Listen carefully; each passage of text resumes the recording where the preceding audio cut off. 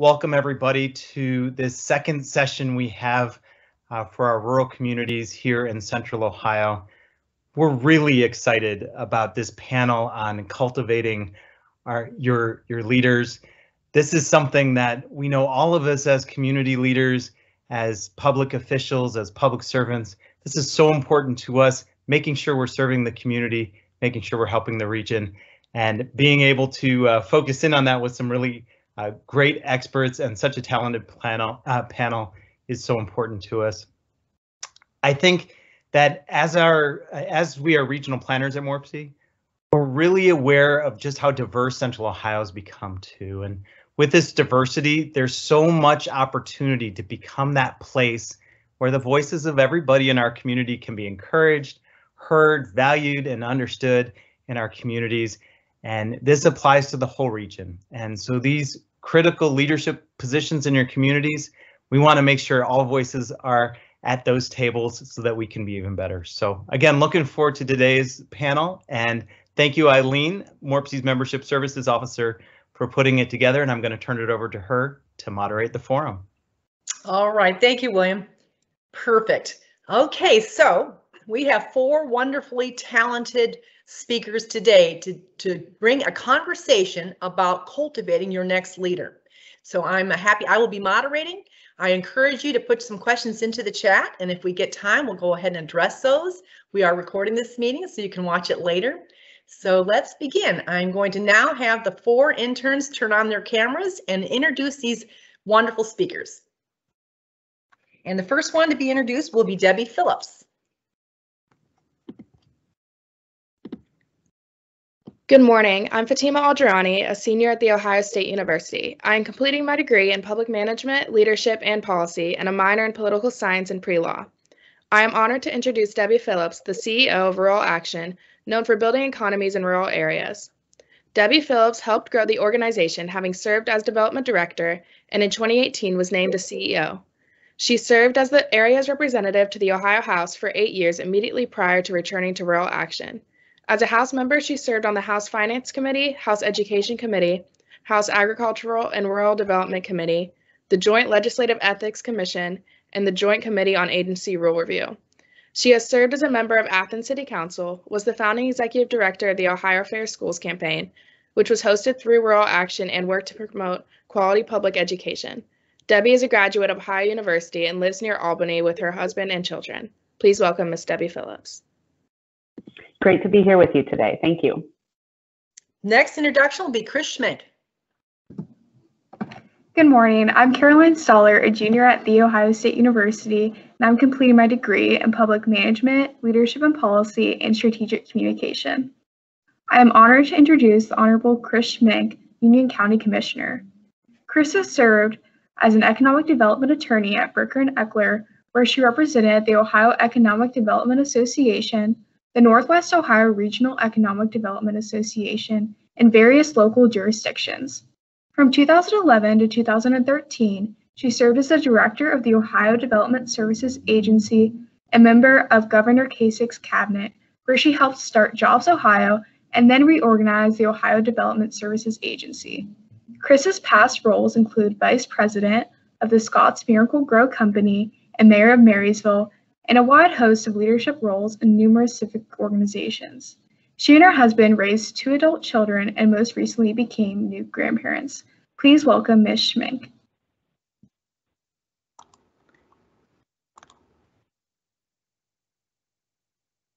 I think Chris is uh, making her comments. Or Chris, I think, oh, there you go. You were. There I go. Sorry. Technical difficulty. Caroline, thank you so much for that wonderful introduction. And it's great to be with you all today. Wonderful. Looking forward to it. And our next introduction will be Bryn Bird. Good morning. I'm Marley Stoller, a master's student at The Ohio State University. I'm completing my degree in agricultural communication, education, and leadership with a specialization in communication and will graduate in 2022. I am honored to introduce the Honorable Bryn Bird, Granville Township Trustee. Bryn earned a Master's of Public Health from George Washington University and a Bachelor's in Zoology from Miami University. She is the co-operator at Birds Haven Farm and a loyal vendor at the Grandview Farmers Market since 1985. She is a strong advocate for farmers and serves as a policy consultant at a rural coalition in Washington, D.C., and several leadership roles, such as the Canal Market District and Enterprise Hub, Newark, Ohio, Explore Licking County, Ohio Ecological Food and Farm Association, and the Ohio Farmers Union. Bryn is one of three women profiled in a documentary regarding women in politics titled Represent, produced by filmmaker Hillary Bachelder. Bryn and husband Brian Walsh are proud parents of three girls. Please welcome Miss Bryn Bird. Thank you so much for a great introduction and excited to be here for this conversation today. All right, wonderful. And, and now we'd like to also introduce Shanette Strickland. Good morning. I am Leah Pierre-Louis, a junior at The Ohio State University. I'm earning a degree in political science and a minor in Chinese language and culture. I am honored to introduce the Honorable Shanette Mobley Strickland, City Councilman for Ward 1 at the City of Reynoldsburg. Shanette earned a bachelor's degree in technical management from DeVry University and a Master of Business Administration from Franklin University. She's the first in her family to graduate from college. Shanette has served in leadership roles in community service organizations that include Reynoldsburg Football Parent Association, Delta Sigma Theta Sorority, Charms Incorporated, and National Association of Negro Business and Professional Women's Club. With her election in 2019, Shanette became one of three African American women elected to City Council for the first time in Reynoldsburg history. Shanette lives in Reynoldsburg with her college sweetheart and husband of 20 years, Chris Strickland, and her inspiring sons, Chris II and Sean. Please welcome Ms. Strickland. I am so glad to be here this morning. Thank you, Leah, for the introduction. I'm looking forward to the conversation. All right. I love how you introduced your family. Cute, cute adjectives. All right. We're going to let the interns turn their cameras off. We'll let the speakers turn their cam keep their cameras on. And the audience, if you can remember, keep your cameras off, but you can use the chat function if you have any questions. And Rolana's going to help me manage that function. I'm going to start with our very first question about what sparked your interest to get the position you're in now. And uh, I think, Chris, can I start with you? Can you hear me? Sorry, yes. I'm gonna not not mute from now on. yes. Oh, it made it muted you for some reason.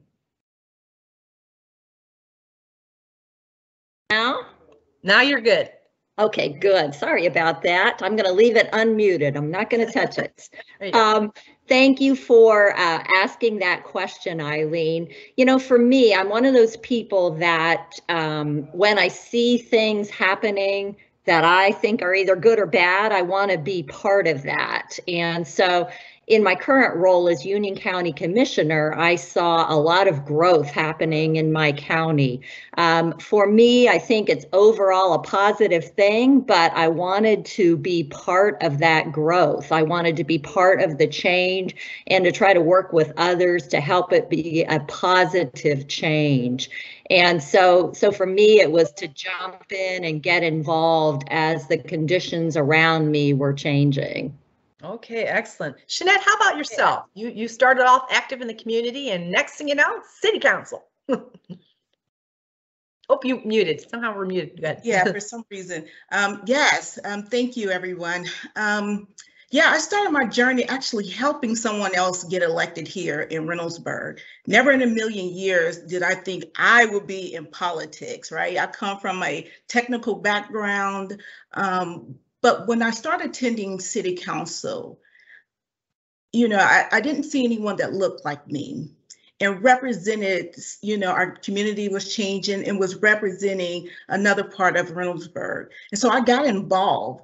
Um, I believe Christine said you can't complain about something. You have to really, you know, get involved if you want to see that change and be that change agent because these little girls, little boys are looking up to you. And so that's one of the reasons why I got involved because I wanted to make sure that Reynoldsburg be is is best for everyone.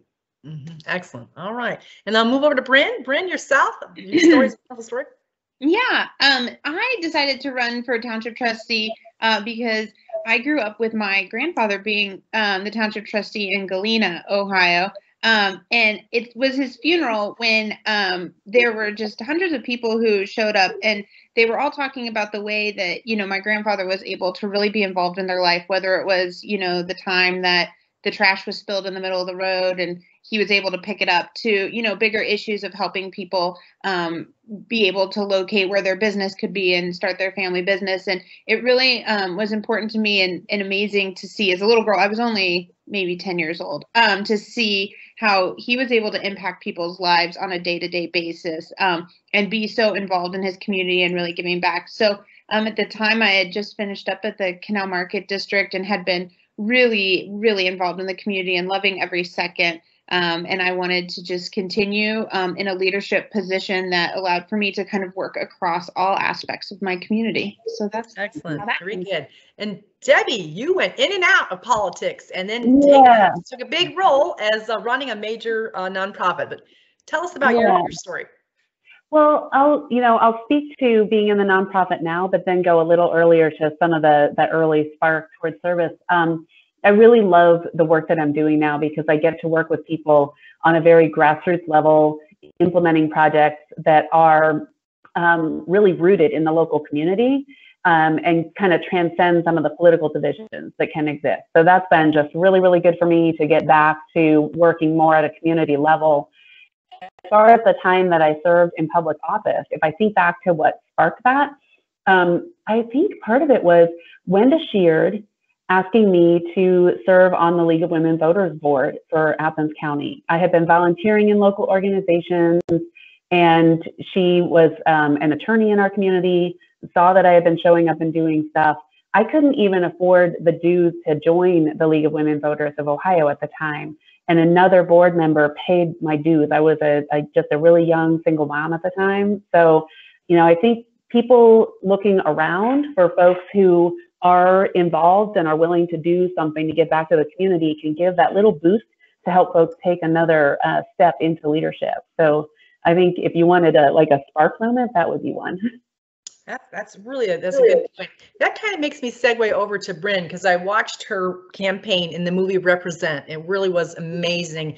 Bryn, let's talk about who helped you in that campaign that allowed you, that gave you the chance and energy and resources to run.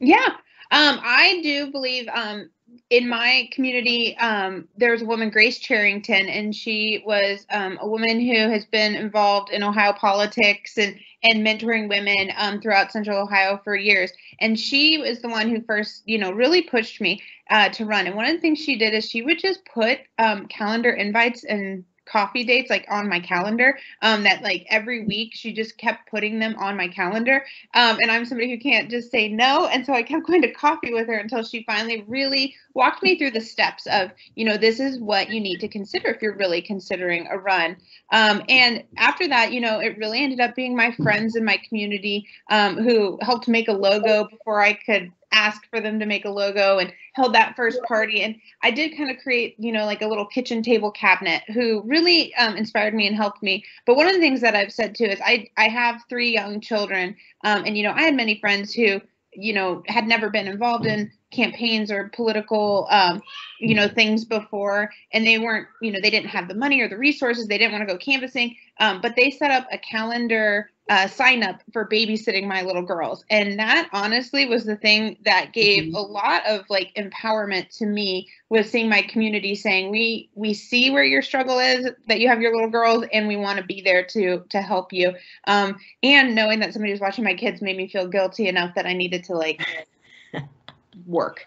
Um, like calling people and canvassing is sometimes like daunting. Um, but knowing that like, okay, somebody's also giving up their day to watch my kids, I should probably get it done. So that was a huge one for me was, um, yeah, friends just kind of seeing you running and you know, if you know another person who's considering it, ways that you can step in that might not be like a financial contribution. It might be like that coffee date of just asking mm-hmm. them to sit there and like, what can I do for you? Can I help you with your website? Can I help you um, you know find somebody to watch your kids. But some i mean those mm-hmm. little things um, are the big empowerment i think to get in the race. Go ahead debbie. You have a thought? There was a woman who um, made a meal for my family one day a week when i first ran for the ohio house. And she was like i can't afford to put a lot of time in. I can't afford to contribute financially but i will like one day a week make sure your family gets like a really good meal so wow, that's so wonderful, Shanette. Are you thinking of Shanette? You just you were in active in your school. You got a busy family doing all kinds of stuff. what kept you going? What kept you? What what got you to go for city council? That's a big yes. Um, I'm telling you, it was my family and friends that really kept me going. My husband will be out there knocking on doors when I had to be at another event or putting up my yard signs. Uh, my my um, my sons, you know, they played football. So I was, again, part of the Reynoldsburg Football Parent Association. So uh, one day we had probably about 10 football players coming out knocking on doors. You know, they participated in the 4th of July parade for me. Um, you know, it was, I knew this was something that I could not do on my own. Um, that I need to really have some people around me that really believed in me winning this particular race. Kristen Bryant was, um, she is amazing. She really started this movement in Reynoldsburg and we were able to grow on that. And um, I'm so glad that, you know, we were able to get, you know, two other African-American women elected here in the first time um, here in Reynoldsburg. So we're just gonna continue and make sure that people know that we are here. Excellent. Very good. Chris, you have a thought there?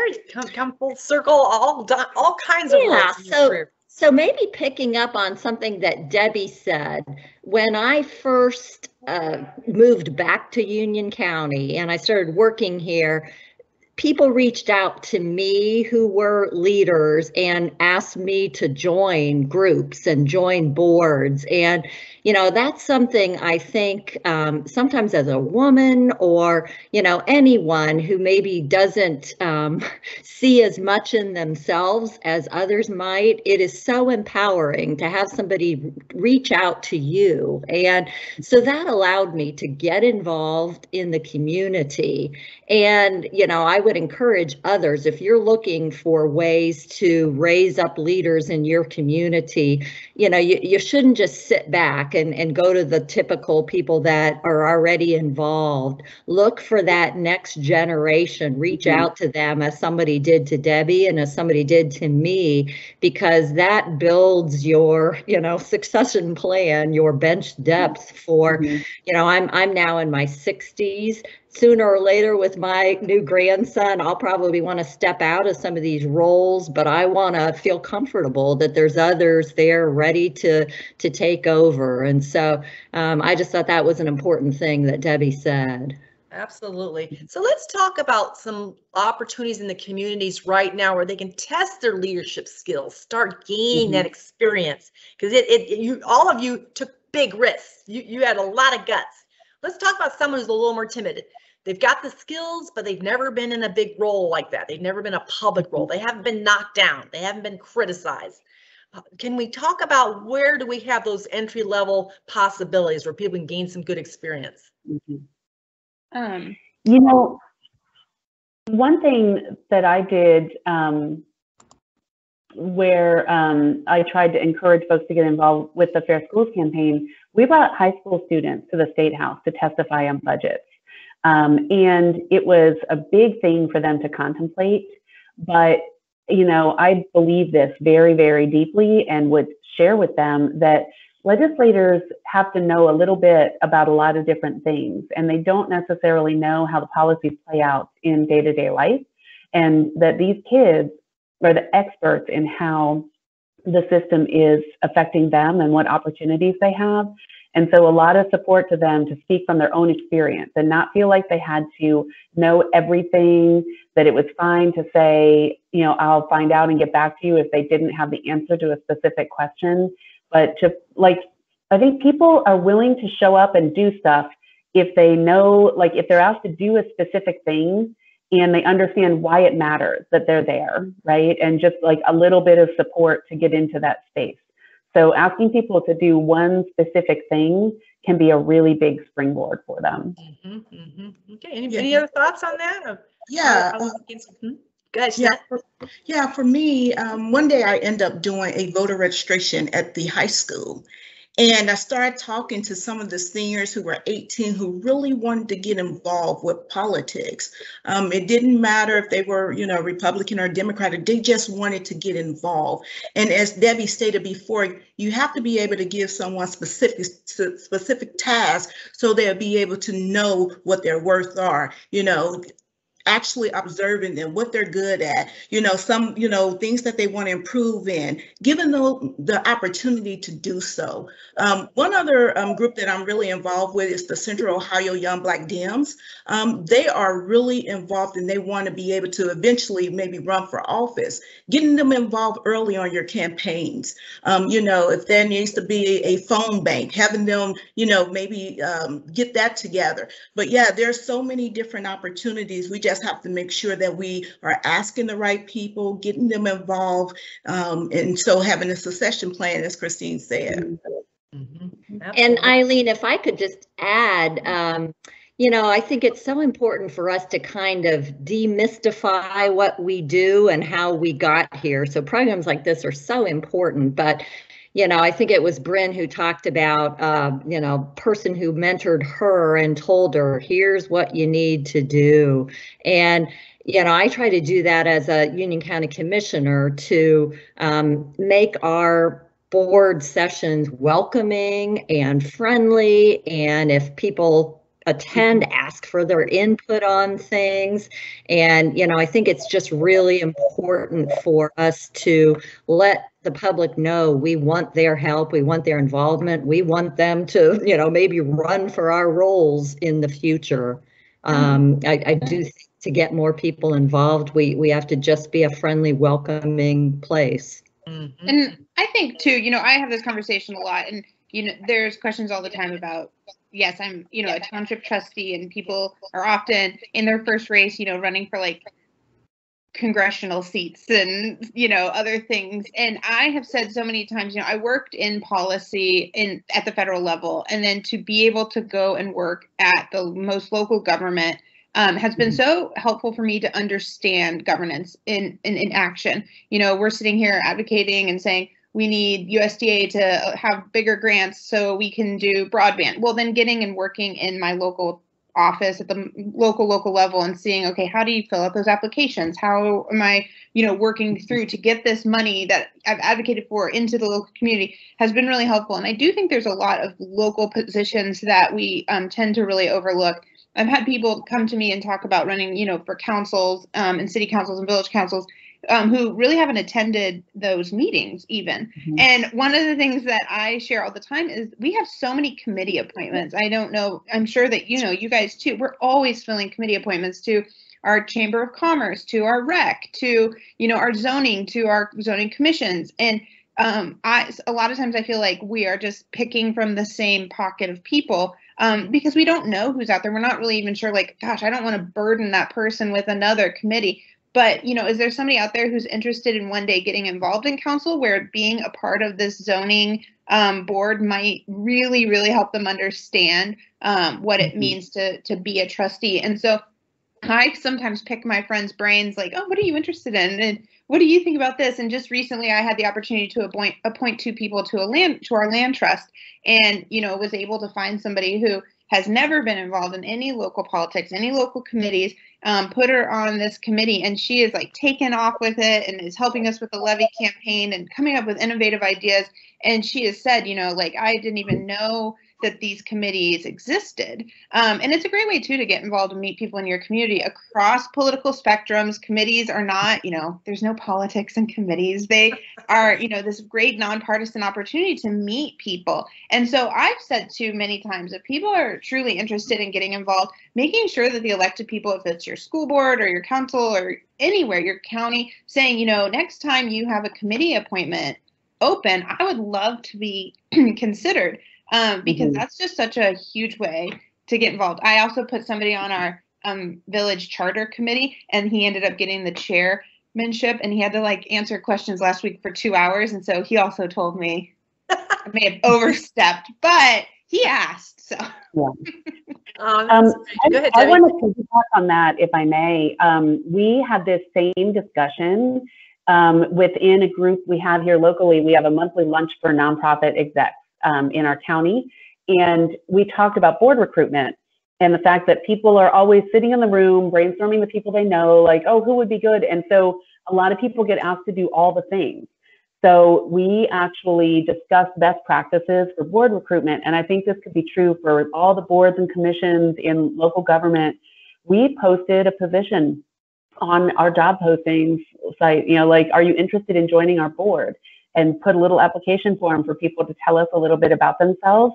And I've got four applicants who had never popped up in discussion, who are like great people, you know, and so whether it's nonprofits or the tree commission or, you know, whatever you're looking for folks, if we just open it up a little bit, you know, maybe there are people who want to get involved but didn't really know how. Mm-hmm, mm-hmm. I, Eileen, I know we probably have to get um, past this um, question, but one one other thing that I end up doing um, when I was knocking on doors and people was like, "Hey, how can I get involved?" Because um, they were excited to see someone that looked like me um, when I was out there knocking on doors.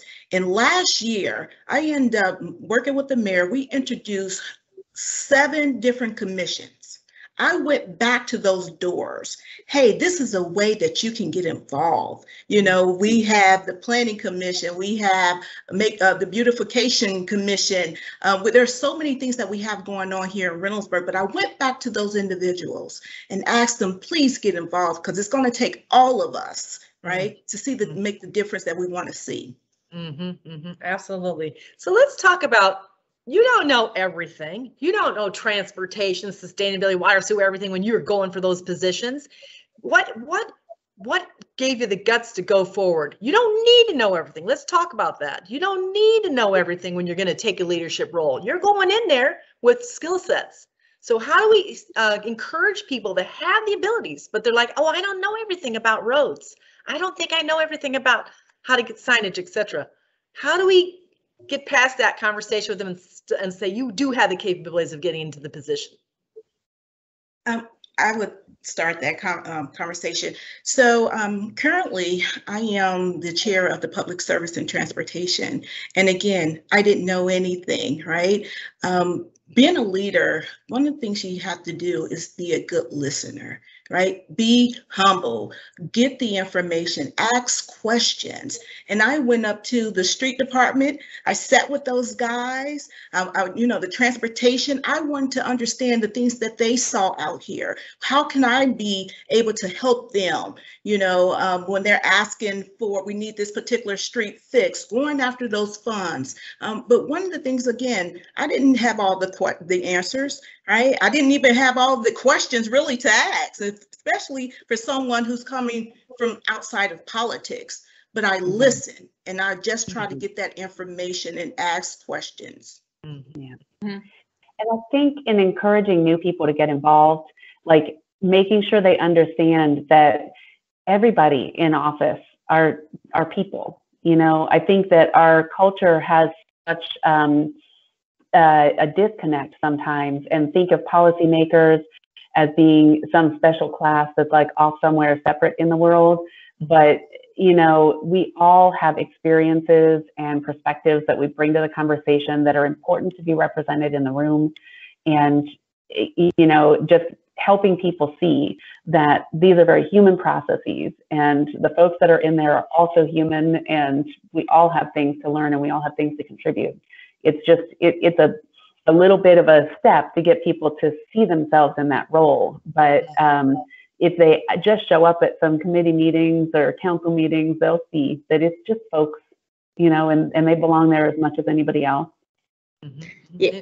Any other comment on that?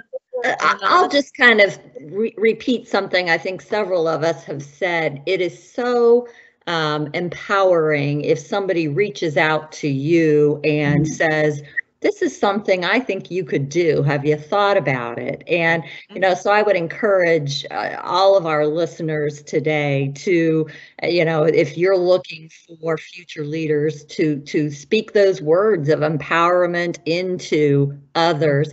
I just did something similar to, I think Bryn was talking about reaching out to somebody out of the blue for one of our open positions. And, you know, now she's going for it. And I'm very excited. Um, and, you know, I think if if we want to see um, different people in roles, then we can help that happen.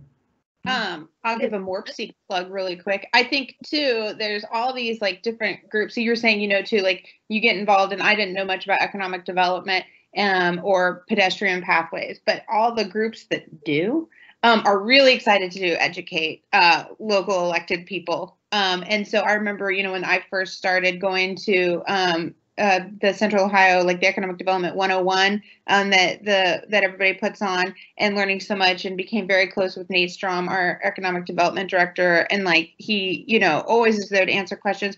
MORPC puts on wonderful, um, you know, educational things. Like I went to the one about pedestrian pathways right when I was elected, and learned so much. And so I've since kind of realized there's groups out there that are passionate about it that want to teach you. Um, so you might not know anything, but man, there's a training for everything. Great So- point. Absolutely. So let's talk about that leader that's humble. We need humble characteristics. We want to talk about change in uh, Central Ohio and Ohio, where we want good, authentic people going for office that have integrity, that have uh, the qualities that make a good leader. Let's talk about that because humble is one of them. And you would think, wow, how can I be a out there kind of person, but I'm humble? What does that mean when we see when we want those kind of leaders? you know, I think it means being willing to put ourselves out there to um, to show that I I don't know everything, you know, but I will listen, as Shanette said. I will participate, as Bryn said, in educational sessions. I'll ask for help. Um, you know, to me, the goal is showing that you're willing to work together, to collaborate. I think. Um, our region has a good reputation as being a region of collaborators. And, you know, I think together we're so much stronger. I, I feel like that's kind of cliche, but it's true. You know, my county, Union County, cannot go it alone. We're so connected to other counties in the region, and we're going to be so much stronger if we're working together. So, to me, humbleness is being willing to kind of be vulnerable myself. And I think that empowers others to know, you know, we, we can all do this if we do it together. Mhm, mhm. Any other thoughts there?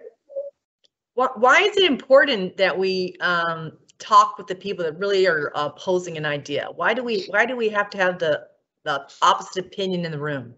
I think You it's know- like Debbie said too. It's making it's reminding everybody we're human. You know, when I ran for office, I got coffee with every person I ran against. Um, and like we sat down because to me, you see me, I'm going to talk to you about my little kids. I'm going to talk to you about my, you know, dad and the farm and everything. And then when you attack me as a person, it's a little bit more like I'm a person.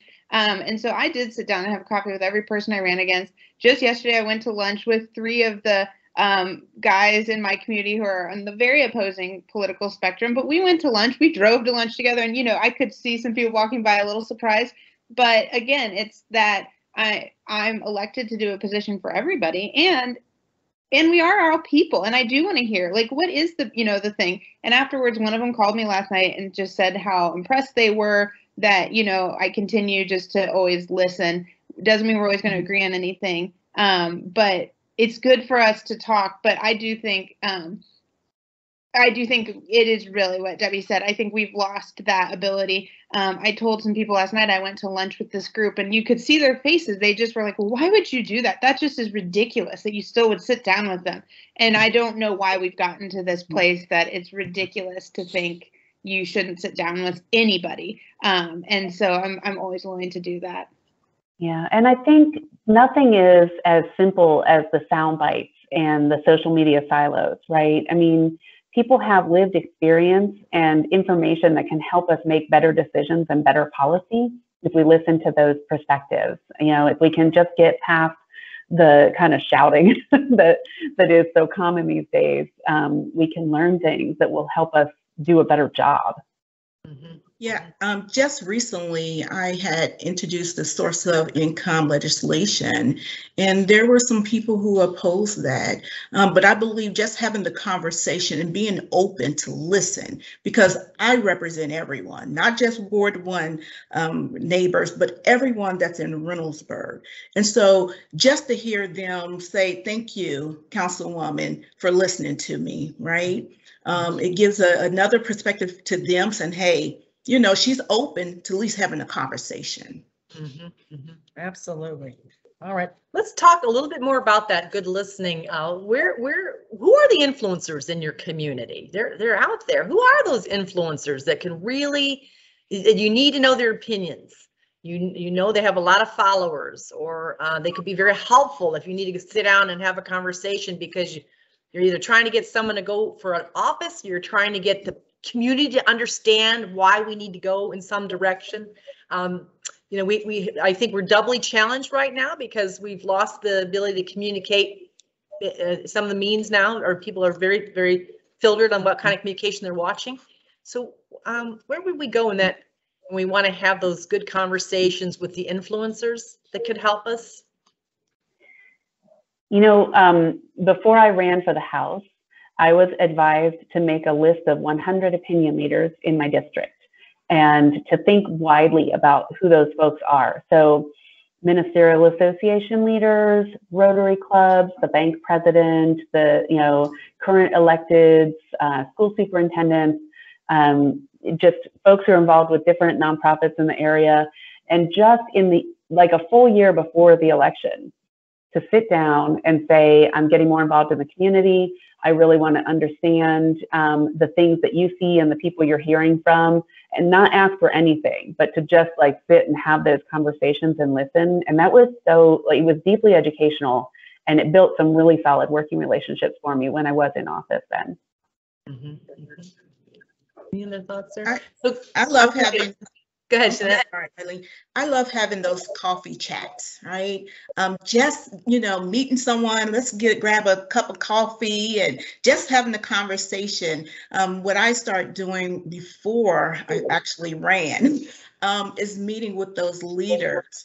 Um, you know, the first African-American man that ran here, won for Reynoldsburg. Um, I sat down with him and understanding what some of the things that he um, had to go through and, and experience and, and how I can, you know, move the needle. So really sitting down with those particular leaders in your communities, understanding where you are and where you're trying to be. Mhm, mhm.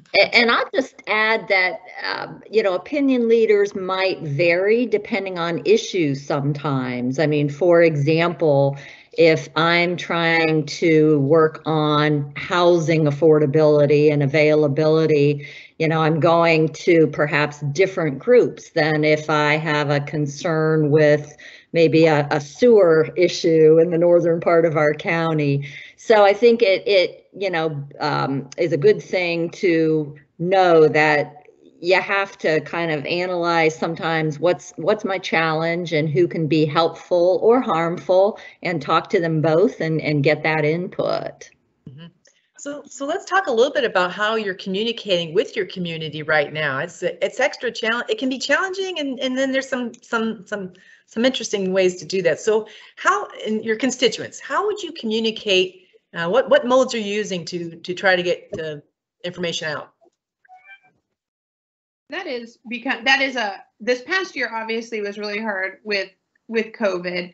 Um, we um, in the township there were only three. There's four of us, and so we still met in person and then like zoomed and did all of that. But it does, you know, come that people are busy and they they really are not still coming to public meetings. You know, we're back in person, and I can say at the township level and at the village level, like we just don't have people who come to meetings, and sometimes. Um, you know, I think we expect people to read our minutes or tune in, um, and they're not going to.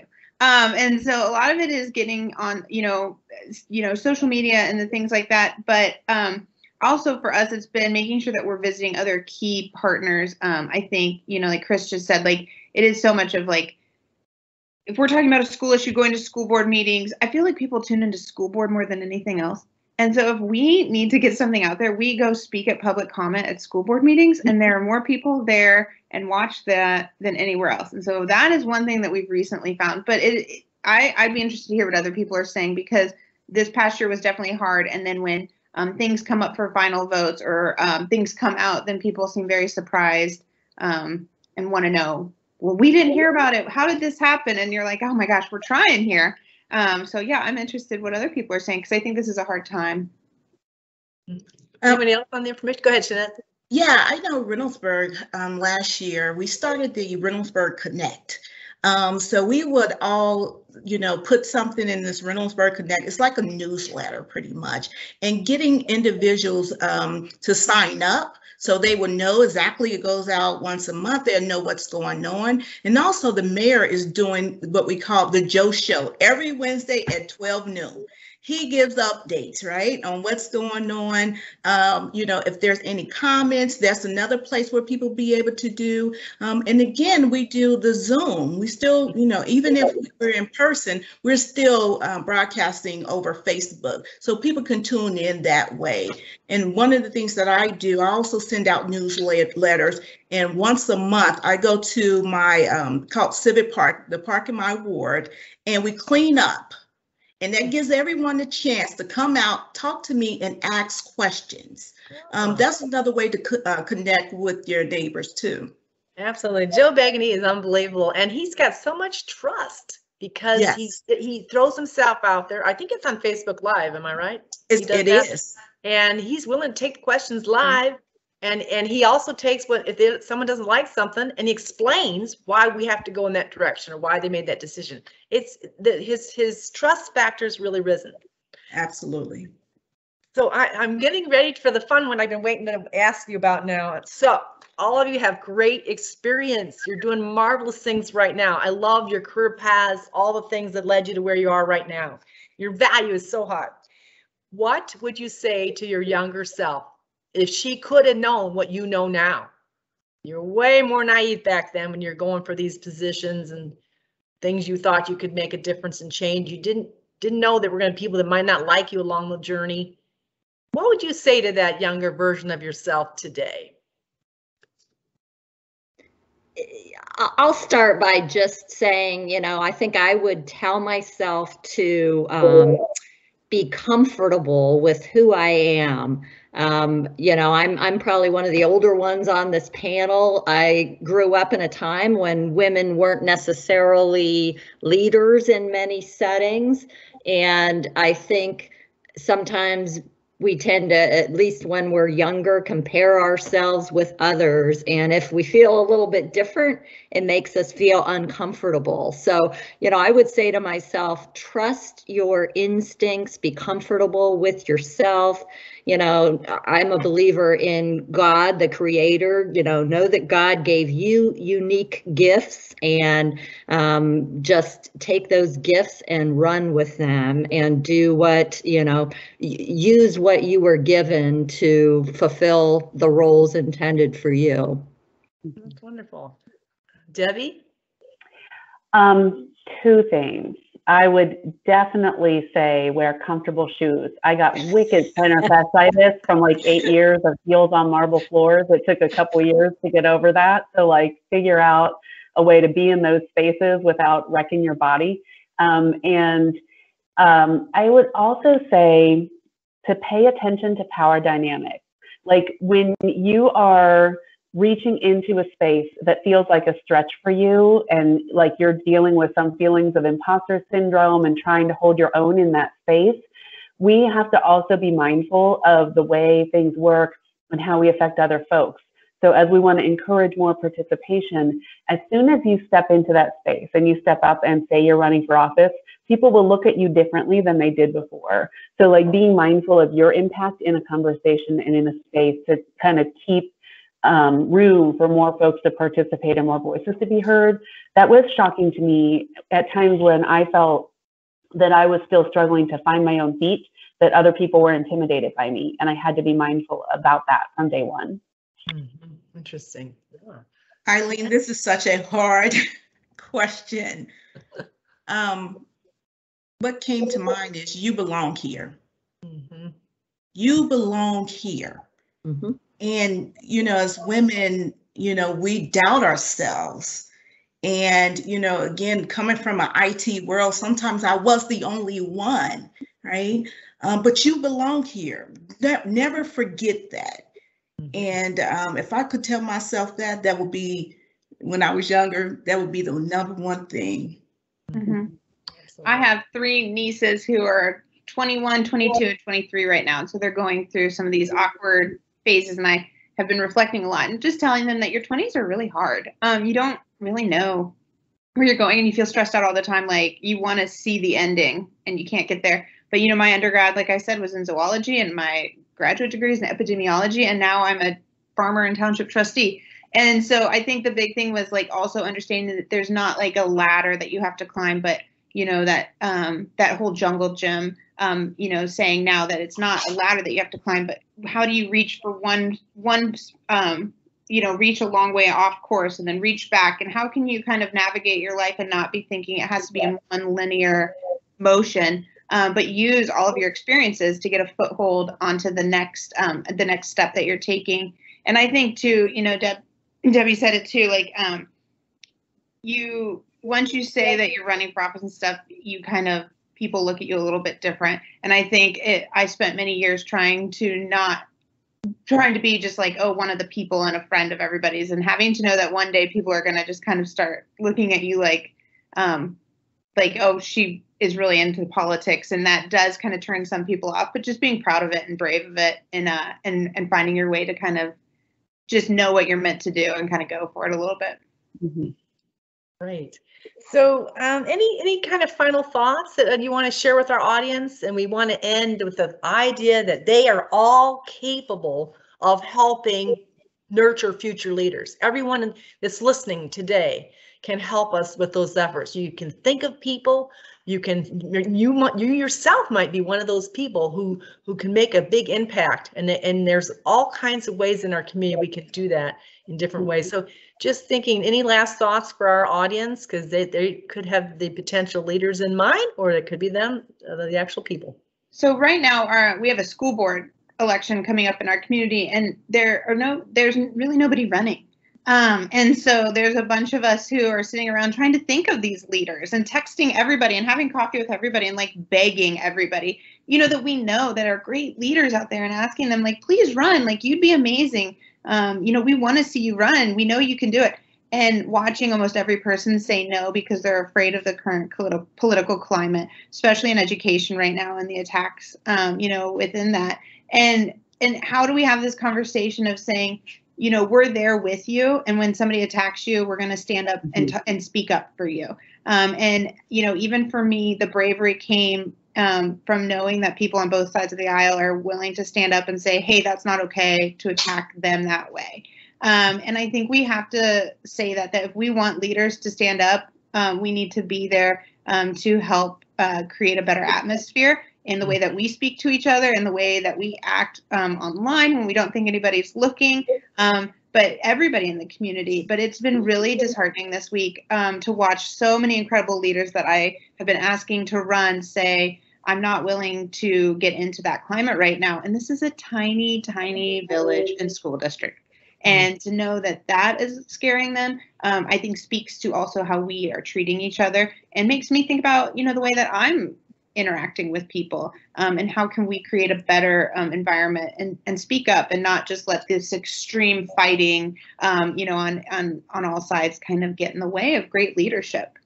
Well, you know, Bryn, what I admired about you too, you you went where there where nobody's gone. You went to the Ohio Township Association with a brand new baby, and you weren't yeah. afraid when that baby needed to be taken care of. You just whoop, put the blanket over and, and sat in the meetings and didn't miss a beat. So you're you're forging new on a new path. You're you're, you're, you're being and nobody ended up nobody came and screamed at me and told me to put it away when I was nursing my baby. You know, I think that we also um have gotten into like where we only see the worst of people on social media and on the news and we expect that of people and so but when you really get out there you know people aren't really going to come and scream at you and tell you to do that so or, that was or even having the guts to say could we have the meeting at four o'clock as opposed to six or mm-hmm. could we have the meeting at you know um, it, it's kind of looking out for yourself and the commitment you made and the balance that you're doing and not to not to be afraid to protect yourself also mm-hmm. Yeah, and Eileen, if I could follow up on what Bryn said, I thought was so important being there to support others in the community who are doing the right thing, whether it's our school board, you know, helping with school levies, whether it's uh, the Chamber of Commerce on a diversity and inclusion training, participating with them, you know, all of those things. You know, I think most of us. Um, uh, were raised to do the right thing. And so being willing to continue to do that and to help others do it and having their backs if if you know they they are personally attacked and and supporting them and and and and helping demonstrate that that's not the the right way to get things done is is really important. And can we just do a quick tips uh, for that the, the spouse or partner that's that's not the elected person, that's not the CEO of a, of, a, of the nonprofit, but your your partner uh, and protecting them. Uh, how, how you know how what, what what advice do you have for for folks that maybe it's uh, they're worried about the partner? What's going to happen to my partner mm-hmm. if I go on this take this big leadership role? You know, I think. Um, for those of us who decide to run for office, we develop a little bit of a thick skin, right? And we anticipate those attacks. It's harder for our families to watch it. I got to the point where there were things that would, like pieces of attack mail that came out that I thought were really creative and funny, you know, um, but I tried to make sure my kids didn't see it because it, it just was painful.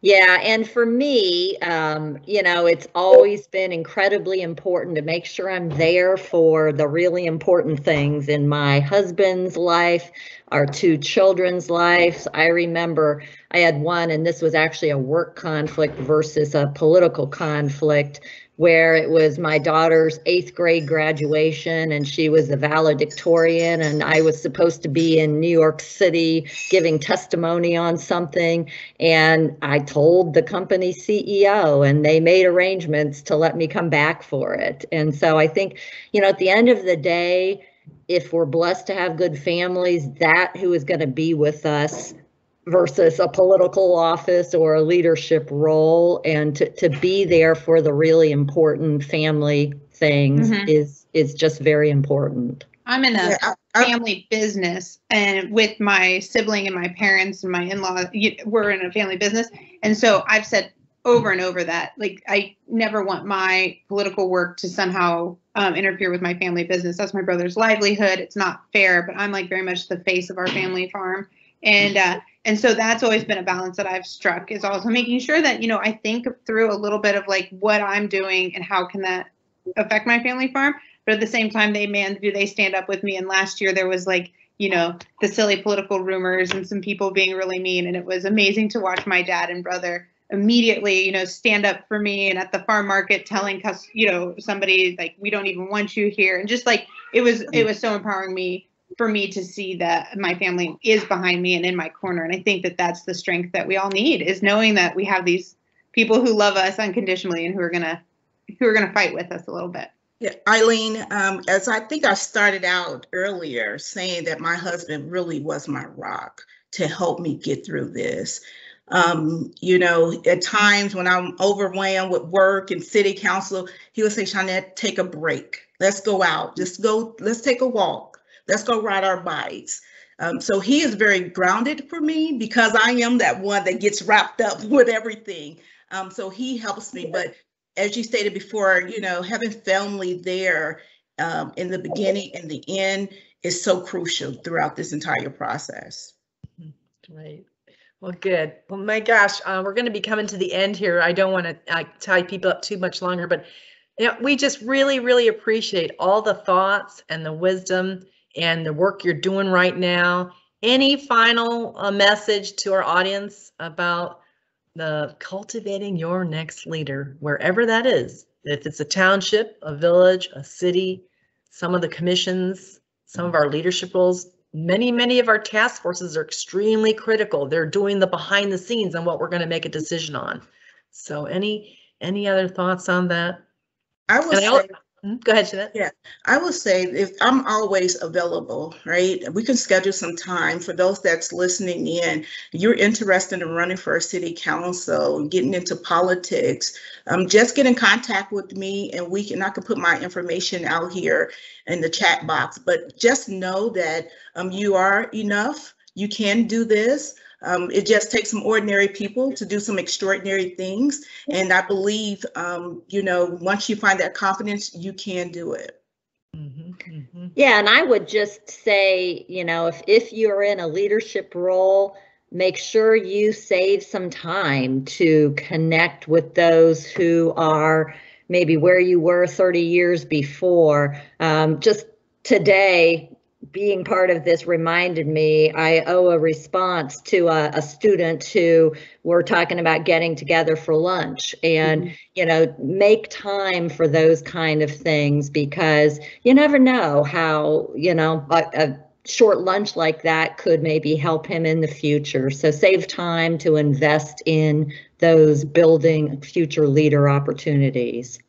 Absolutely well, gosh, I want to thank everybody. I want to bring us to a close here so that everyone has that extra minute before they start their uh, their noon noon program. But thank you so much. We're going to stay connected to to all of you. We're going to watch what happens. We admire all the work you're doing. We admire that you bring uh, all these different views to the table. You're you exercise good listening tactics and uh, your your work is incredible. So thank you so much for joining the MORPC family today. Thank you, audience, for being here. We're going to uh, go ahead and adjourn. Thank you so much, everybody. Thank you.